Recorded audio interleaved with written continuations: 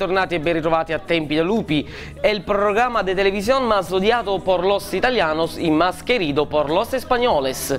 Eh, dunque, torna dopo grande eh, protesta delle piazze, dopo eh, interrogazioni parlamentari, dopo rivolte per le strade, l'amata rubrica delle parole che sono importanti. Le parole sono importanti, ne facciamo spesso un uso distorto e qui a Tempi de Lupi chiaramente abbiamo un ruolo eletto di riportare eh, la pace, la calma eh, tra le genti utilizzando bene le parole della nostra lingua. Eh, quella, eh, quella, di questa sera è una parola che eh, personalmente io detesto perché eh, va a toccare le corde più intime del mio animo, mi mette in fibrillazione e quindi eh, vi devo dire che prima di parlarne con voi ho dovuto calmarmi andando a spiaccicare pulcini in una fattoria perché è l'unico modo che, mh, che conosco. Ebbene, la parola di questa sera è buonista.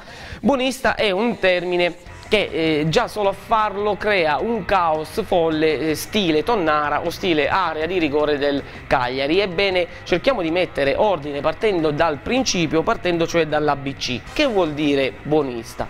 Allora, vediamo insieme. Per la Treccani la definizione riguarda l'ostentazione di buoni sentimenti, di tolleranza e benevolenza verso gli avversari e tutto il resto, particolarmente eh, per quanto riguarda gli uomini della politica. Quindi sostanzialmente è, è un sentimento positivo, è appunto un sentimento di eh, benevolenza ed è un sentimento, eh, o meglio un termine che è di recente applicazione nella nostra lingua, ovvero nel 1995 se lo inventò Ernesto Galli della Loggia, noto corsivista del Corriere della Sera, perché laddove ehm, nei film di Fantozzi c'era la famosa grande azionista, eh, ehm, la eh, Serbelloni Mazzanti viene dal mare, noi abbiamo eh, riparte da 72 metri l'Ernesto Galli della Loggia, insomma ognuno ha i cognomi che eh, si merita ed era una cosa normale, un termine che veniva utilizzato fino a un certo punto eh, per indicare qualcuno che aveva un atteggiamento positivo nei confronti di uno che è considerato avversario e non nemico e fino a lì andava tutto bene, se non fosse che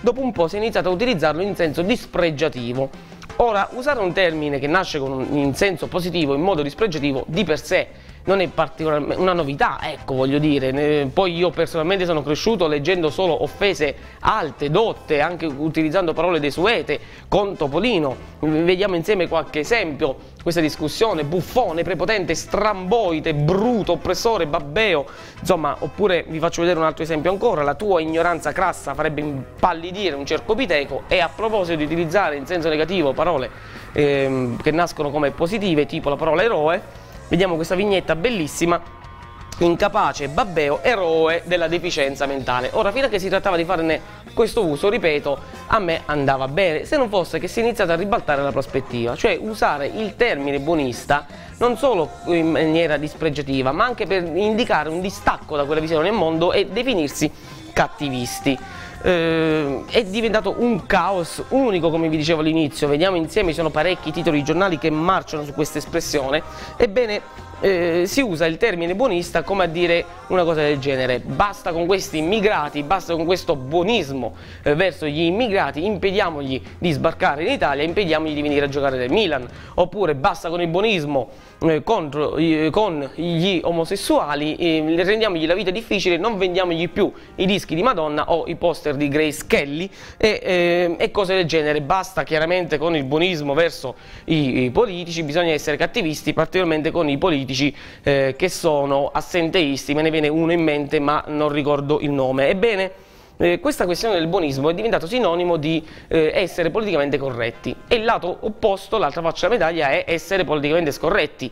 Ecco, oggi si rivendica particolarmente questa cosa di essere particolarmente scorretti e questo in realtà non fa che arricchire il caos. Intanto ci sono degli articoli che trattano proprio questo argomento seriamente dicendo i conformisti del politicamente scorretto, perché se tu sei sempre politicamente scorretto non stai facendo niente di nuovo. Ma a parte questo, anche questo termine va utilizzato bene, dico io, eh, politicamente scorretto è il film In nome del popolo italiano di Dino Risi, dove un magistrato integerrimo di sinistra eh, va a eh, distruggere le prove dell'innocenza pur di far condannare un imprenditore eh, mezzo fascista, ehm, insomma eh, corrotto, quindi già di per sé odioso. Ecco, quello è politicamente scorretto.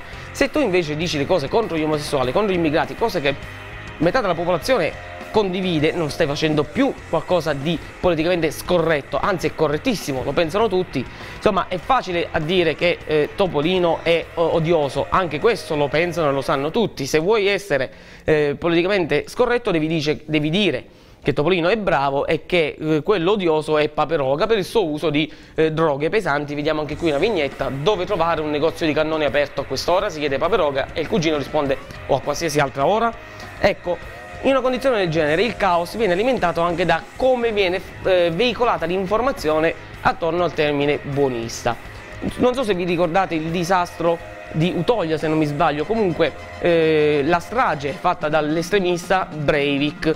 Ebbene, i giornali diedero il meglio di eh, loro stessi in, quel, in, quei giorni, in quel periodo. Subito dopo la strage il giornale eh, pubblicò questa prima, sono sempre loro, ci attaccano sostanzialmente gli islamici con un bel riferimento anche a Bin Laden si accorsero per tempo che Breivik, l'estremista di destra, che come loro ce l'ha con gli islamici, per cui non era più il caso, e pubblicarono una prima pagina correttiva, che vediamo anche questa insieme, medesima foto, attacco sanguinoso, strage in Norvegia, Oslo come eh, fosse in guerra, ecco.